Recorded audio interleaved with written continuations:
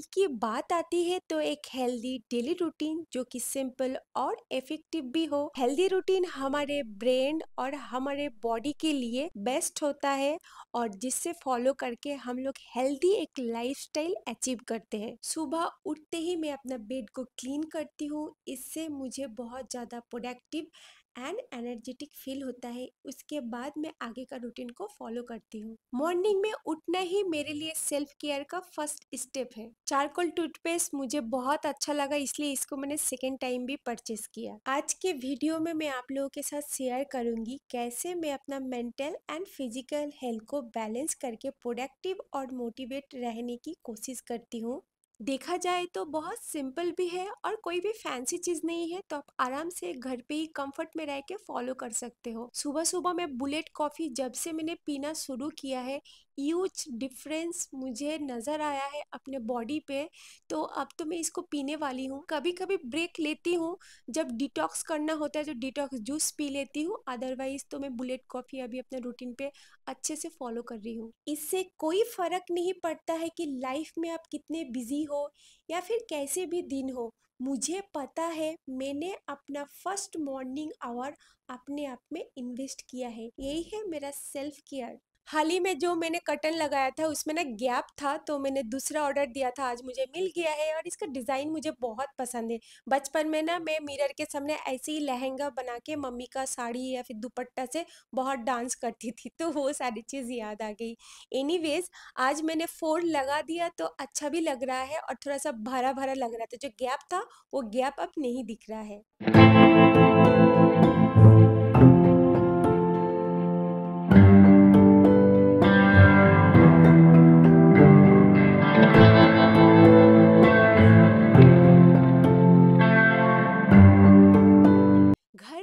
कैसा भी हो, छोटा हो, बड़ा हो, उससे कोई फ़र्क नहीं पड़ता है। घर को हमेशा डेकोरेट करके रखो, हमेशा थोड़ा सा ऑर्गेनाइज करके रखो, उससे आपका मूड भी बहुत अच्छा होता है।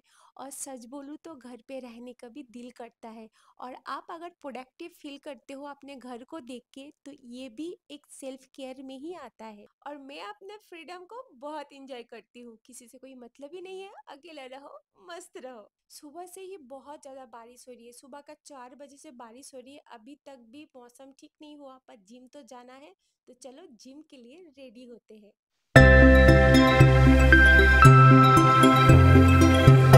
Healthy and powerful routine without workout incomplete. जो लोग जिम नहीं जाते हैं, वो लोग कभी नहीं समझ पाएँगे, ये सिर्फ़ वो प्लेस नहीं है जहाँ पे आप अपना बॉडी बनाने आते हो।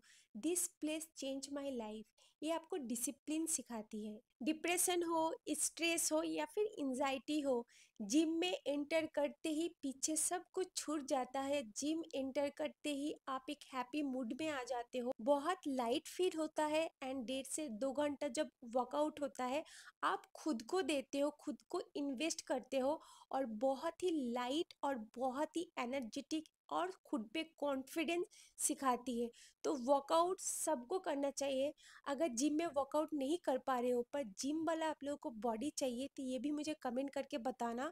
तो मैं कुछ ऐसा डंबल परचेस करूँगी और आपको घर पे ही कैसे आप वर्कआउट करके जिम में जो एक टोन बॉडी अचीव कर सकते हो, घर पे भी अचीव कर सकते हो, वो भी मैं शेयर करूँगी। तो मुझे कमेंट करके बताना कि मुझे डम्बल लेना चाहिए आप लोगों के लिए कि नहीं?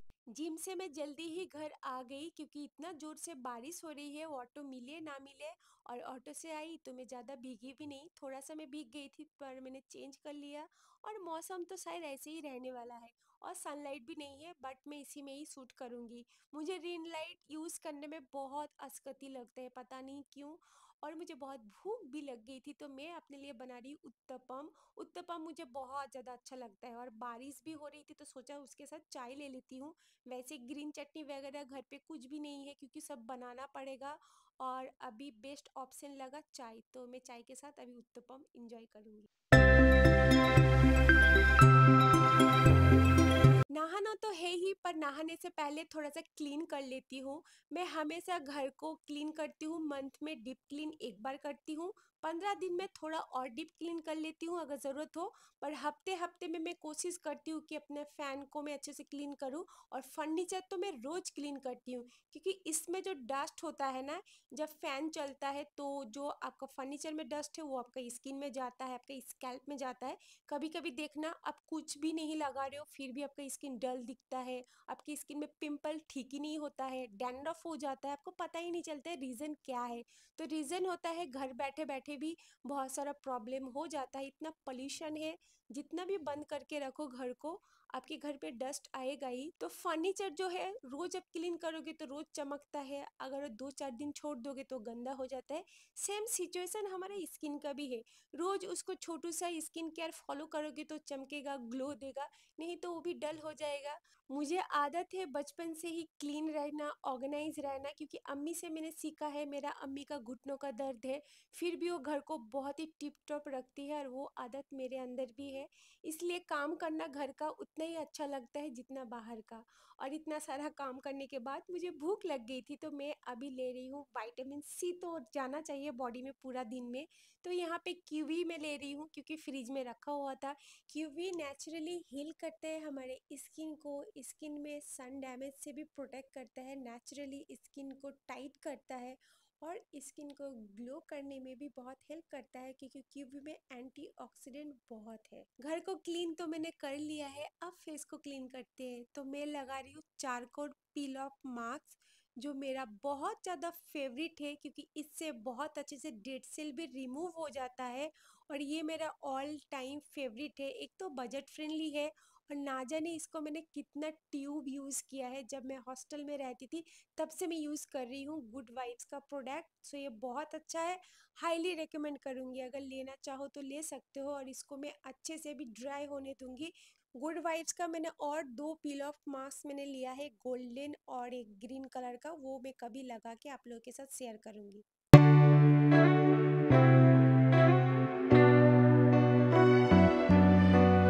कभी कभी हमारे लाइफ में ऐसा कोई आता है जो आपके सोल को टच कर पाता है and you feel lighter, brighter and beautiful और ऐसे लोग ब्लेसिंग की तरह होते हैं और वो ब्लेसिंग आप खुद हो।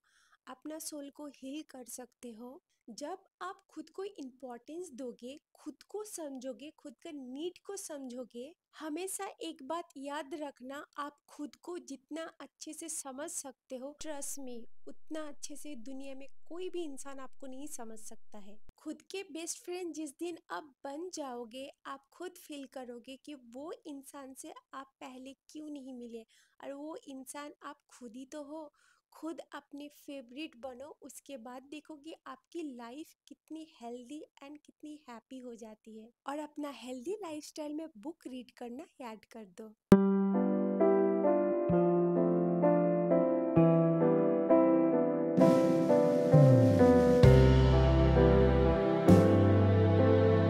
जब भी आप पील ऑफ़ मास्क लगाओ हमेशा पूरा ड्राई करना, उससे क्या होगा? बहुत अच्छे से क्लीन होता है। जो dead cell white cells remove करना होता है, वो अच्छे से रिमूव होता है। नहीं तो वो ना अच्छे से रिमूव नहीं होता है। एंड अभी कितना इजीली मेरा फेस से निकल गया है, देख सकते हो। और ये ना बहुत सेटिस्फेक्शन देता है। मेरे स्किन में जितना भी डेड सेल था और जो वाइट हेड्स था नोज़ पे, वो कितना अच्छे से रिमूव हुआ है। आई थिंक आप लोग देख पा रहे होंगे मैं तो कोशिश कर रही हूँ दिखाने के लिए, पर लाइट का थोड़ा सा इशू है। तो होप्स हो कि आप लोगों को देख पाए। ये बहुत अच्छे से रिमूव कर देता है और स्किन भी बहुत साइन भी करता है, बहुत स्मूथ भी फील होता है। स्किन केयर करने के लिए ज़्यादा स्किन केयर प्रोडक्ट होना ज़रूरी नहीं है।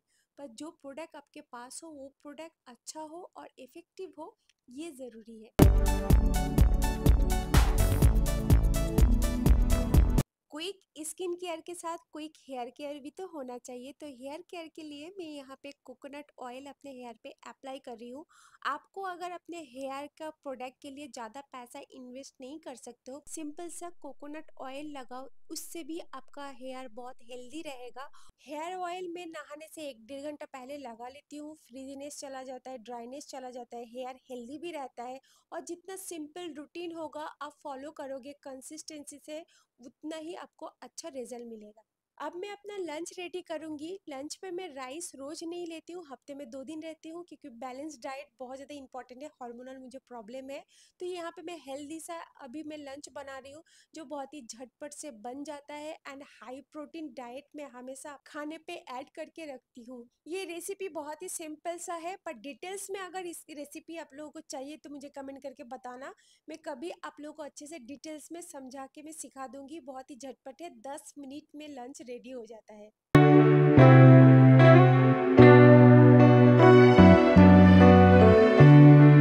नहाने के बाद मैंने ऑन पीस एक कॉटन का ड्रेस पहन लिया, बहुत ही लाइट है और अच्छा और कंफर्टेबल भी है।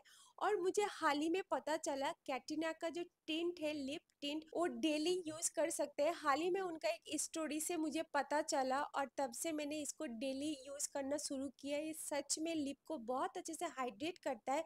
वैसे तो मैं लिप बम वाला जो टिंट आता है, आजकल तो सब में ही आता है तो वो मैं लगाती थी। तो अब से मैं इसको ही यूज़ करूँगी और इसका ही दूसरा कुछ सेट में और एक बार परचेस करूँगी, क्योंकि ये मुझे काफ़ी अच्छा लगा, काफ़ी हाइड्रेटिंग है और बहुत लॉन्ग टाइम तक लिप को हाइड्रेट करता है। हेल्दी लाइफस्टाइल के लिए हेल्दी खाना भी बहुत ज़्यादा इम्पोर्टेंट है। हमारे प्रेजेंट और हमारे फ्यूचर दोनों ही खाने के ऊपर ही सर्वाइव करते हैं। हम फ्यूचर में कैसे रहेंगे या फिर प्रेजेंट में हम लोग कितना हेल्दी है, ये हमारे फ़ूड ही डिसाइड करते हैं।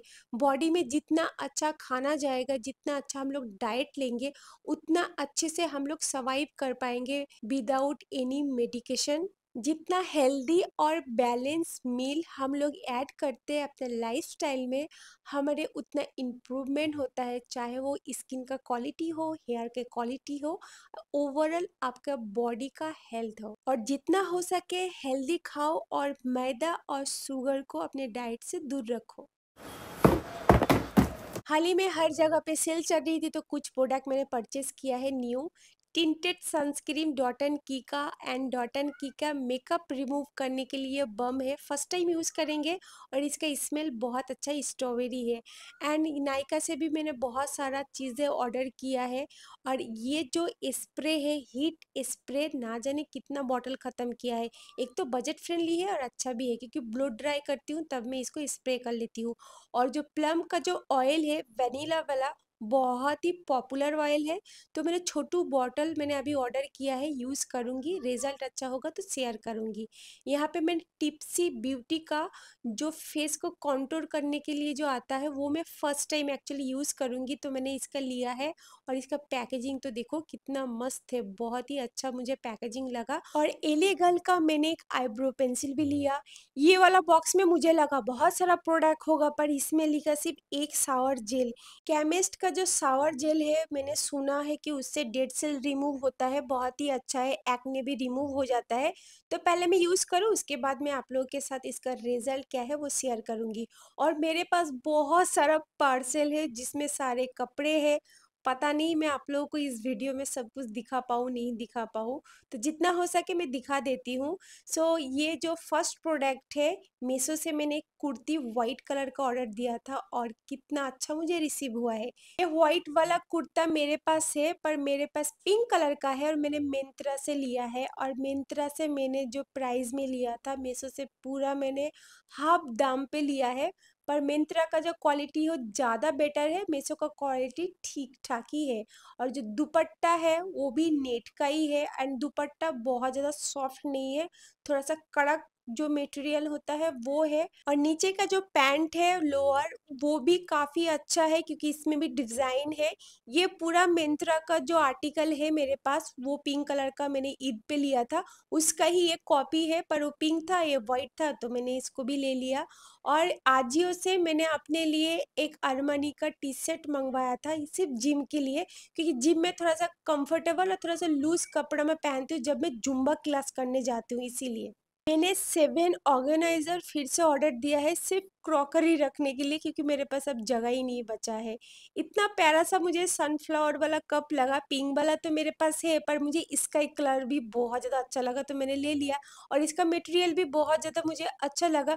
वैसे क्रॉकरी का होम डेकोर का जितना भी आइटम होता है मेसो का, थोड़ा सा ढूंढना पड़ता है, पर बहुत अच्छा क्वालिटी का और पूरा हाफ़ प्राइस में मिलता है तो ये चीज़ मुझे बहुत अच्छा लगता है मेसो का। काला बादल हो गया है, पूरा एकदम लाइट भी चला गया है थोड़ा सा भी लाइट नहीं है तो वीडियो को मैं यहीं पे ही ख़त्म करती हूँ। मैं अपने जर्नी में यही सीखी हूँ। आप कोई भी काम कर रहे हो पर्सनल ग्रोथ और पर्सनल गोल्स के लिए टाइम ज़रूर निकालो क्योंकि सक्सेस वही है जो आपको आपकी बेटर वर्जन पर लेकर जाए। आज के वीडियो में मैं आप सबको यही मैसेज देना चाहूँगी, आप कितना भी बिज़ी हो, office, college, school, personal goal, personal growth, सब कुछ पॉसिबल है। इट्स ऑल अबाउट यू आप खुद कितना पैसनेट हो अपने गोल्स को लेके। सो so, आज का जो वीडियो है आई होप आप लोगों को अच्छी लगी होगी। वीडियो अगर अच्छा लगा है तो वीडियो को लाइक करना शेयर करना सब्सक्राइब करना।